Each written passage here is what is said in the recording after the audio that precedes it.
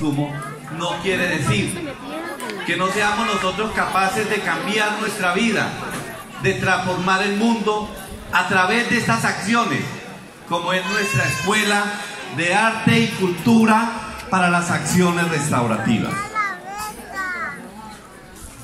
Esta es nuestra gran práctica restaurativa.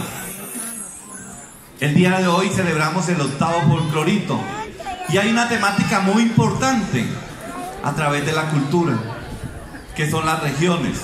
En este año, el año pasado tuvimos todo lo que fue la costa y toda esa parte. Hoy tenemos nuestra región, el Huila y el Tolima, el Tolima Grande, que van a estar representados por el programa del sistema de responsabilidad penal que estarán presentándonos todo lo que tiene que ver con la zona del Huila. El programa de SPA